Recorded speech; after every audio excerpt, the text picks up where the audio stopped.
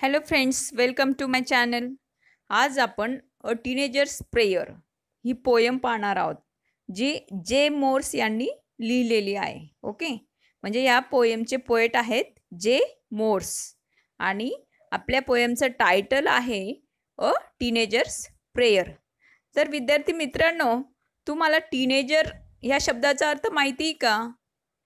Teenager म्हणजे ज्या शब्दांच्या शेवटी. आता समजून घ्या आपण स्पेलिंग आहे थर्टीन टीन आला शेवटी ओके तर थर्टीन टू नाईन्टीनपर्यंत जर आपण गेलो तर प्रत्येक स्पेलिंगच्या शेवटी टीन हा वर्ड आपल्याला दिसेल तिथं बरोबर? तर म्हणजेच थर्टीन टू नाईन्टीन म्हणजे तेरा ते एकोणावीस ह्या वयोगटातील जे मुलं आहेत त्या वयोगटातील मुलांना टीनेजर्स म्हटलं जातं. आलं तुमच्या लक्षात? तर अ टीनेजर्स प्रेयर आणि अशा या टीनेजर्सची प्रेयर एक प्रार्थना या कवितेतून त्यांनी दिलेली आहे. त्यांनी केलेली प्रार्थना त्यांनी गॉडला काय सांगितले काय प्रेयर केलेली आहे याचं वर्णन आपल्या अ टीनेजर्स प्रेयरमध्ये या पोयममध्ये आढळून येईल. ओके? असे हे किशोरवयीन मुलं म्हणजे जे तेरा ते एकोणावीस या वयोगटात बसतात अशा किशोरवयीन मुलांनी केलेली प्रार्थना आपल्याला ह्या पोयममध्ये दिसून येते. Okay so let start our poem each day brings new beginnings decisions I must make I am the only one to choose the road that I will take पहा मग विद्यार्थी मित्रांनो तुमच्याच वयाचे अगदी मला वाटतं कोणी फोर्टीनचं असेल कोणी फिफ्टीन इयर्स ओल्ड असेल तर कोणी सिक्स्टीन असेल तुमच्या वयामध्ये.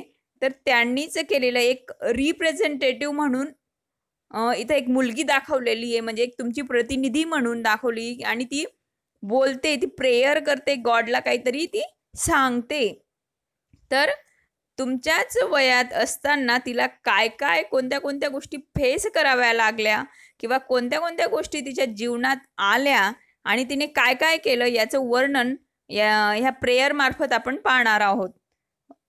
Each day brings new beginnings प्रत्येक दिवस हा एक नवीन सुरुवात घेऊन येत असतो.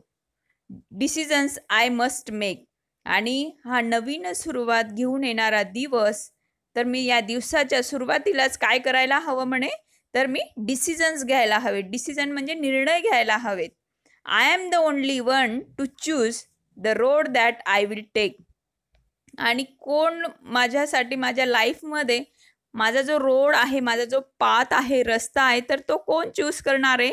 I am the only one मीच आहे ती फक्त किंवा मीच आहे तो फक्त की जो माझ्या लाईफमध्ये मला पुढे काय करायचं आहे किंवा मी काय करणार आहे याच्यासाठी मी जो मार्ग करेल तर तो मार्ग करण्याचं काम मी स्वतःच करणार आहे. आता पहा.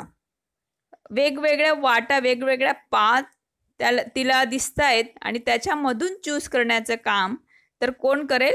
मीच करेल असं ती म्हणते. ओके? ज- विद्यार्थी मित्रांनो तुमच्या जीवनामध्ये तुम्हाला जेव्हा तुम्ही करिअरच्या दिशेने वळाल तेव्हा भरपूर असे मार्ग दिसतील. बरोबर? आणि या अशा वेगवेगळ्या मार्गांमधून वेगळ्या वेगळ्या रस्त्यांमधून तुम्हाला तुमचा एक मार्ग शोधायचा असेल. त्याच पद्धतीने इथं जी स्पीकर आहे किंवा हा हे जे पोएट आहेत ते म्हणतायत की ह्या अनेक अशा मार्गांमधून काय करायचं आहे मलाच एक मार्ग मला एक पाथ एक रोड चूज करायचा आहे I can choose to take the road of life that leads to great success मी असाही मार्ग चूज करू शकते की जो मला भरपूर असं सक्सेस देईल मोठ्या प्रमाणावर यश देईल. Or travel down the darkened road darkened म्हणजे इथं म्हटलं आहे रेफर्स टू इविल वाईट दुष्ट अशा मार्गाला सुद्धा मला नेऊ शकेल. That leads to great distress जो मला अपयशाकडे नेऊ शकतो. Distress means great worry and strain म्हणजे काळजीकडे चिंतेकडे नेणारा. जर अपयशी ठरलं ते एखादा निर्णय घेतल्यानंतर तर काय निर्माण होईल? काळजी निर्माण होईल चिंता निर्माण होईल निराशा निर्माण होईल.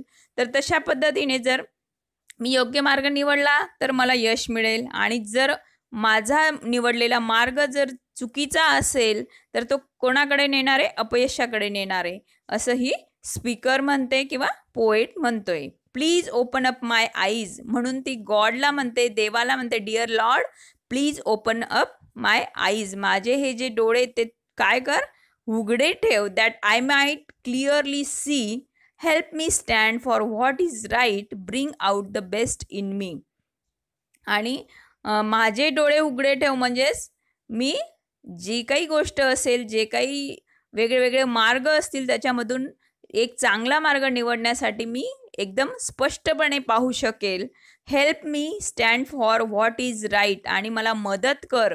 जी गोष्ट योग्य आहे व्हॉट इज राईट जे बरोबर आहे ते चूज करण्यासाठी तू ते निवडण्यासाठी मला मदत कर. Bring out the best in me आणि माझ्यातलं जे बेस्ट आहे माझं जे पोटेन्शियल आहे माझ्यामध्ये जे गुण आहेत ते एक प्रकारे भरभरून असं मला य यश देतील अशासाठी तू मला काय कर? हेल्प कर मदत कर. Okay next stanza help lord to just say no when temptation comes my way that I might keep my body clean and fit for life each day पहा मग. काय म्हणते ती? Help lord to just say no मला काय नाही काय म्हणायला मदत कर? तर नो म्हणायला मदत कर नाही म्हणायला मदत कर. आता इथं स्पीकरला काय नाही म्हणायचं आहे तर when temptation comes my way temptation means a strong wish to do something bad or wrong म्हणजे स्ट्रॉंग अशी विश तीव्र अशी इच्छा जी आपल्याला बॅड किंवा जे रॉंग असतं जे चुकीचं असतं जे वाईट असतं ते करण्यास प्रवृत्त करते अशी इच्छा जर माझ्या जीवनात आली निर्माण झाली तर त्या गोष्टींना मला नो म्हणायला मदत कर. That I might keep my body clean कारण मी जर त्या गोष्टींना नाही म्हटली त्या लोभाला त्या मोहाला जर मी नाही म्हटली तर माझी बॉडी कशी राहील? क्लीन राहील and fit for life each day आणि क्लीन अँड फिट राहील तंदुरुस्त मी राहील स्वच्छ राहील अशा पद्धतीने. आता इथं टेम्पटेशन म्हणजे आता तुमच्या वयातली मुलं आहेत काही मुलं त्यांना ज्यांना चांगली संगत सोबत मिळते ती मुलं खूप यशाच्या मार्गाकडे जातात. आणि काही अशी असतात तर ती काही थोडी टवाळखोर मुलंही असतात की त्या ते त्यांच्यासोबत जर लागले तर त्या नक्कीच त्यांचा मार्ग कसा एक तर थोडा वाईट असाच असतो. त्यामुळे असं जे मोह जाल आहे असं हे जे टेम्पटेशन आहे तर त्या मार्गाकडे नेणाऱ्या जे असे काही गोष्टी आहेत त्यांना मला नो म्हणायला म्हणजे नाही म्हणायला क्लिअरली नाही म्हणायला तू मदत कर असं ती गॉडला म्हणते.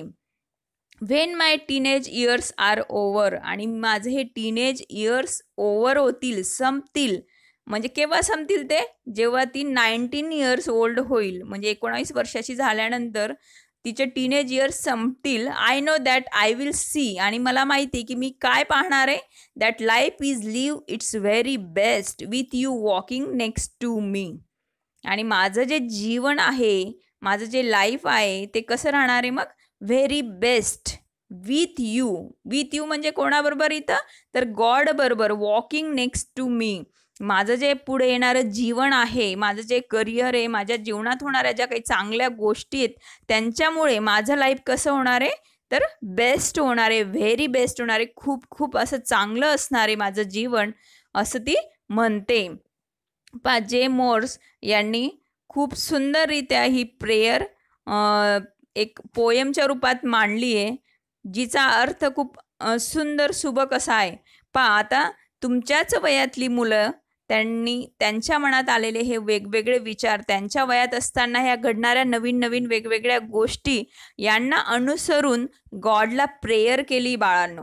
आणि गॉडला मदत करण्यास त्यांनी सा सांगितलं आहे ओके? तर तुम्हाला या पोयमचा अर्थ व्यवस्थित कळलाच असेल. माझ्या विद्यार्थी मित्रांनो व्हिडिओ तुम्ही पूर्ण पाहत जा. आणि त्याचबरोबर व्हिडिओला लाईक करा शेअर करा आणि माझ्या चॅनलला सबस्क्राईबही करा. थँक्यू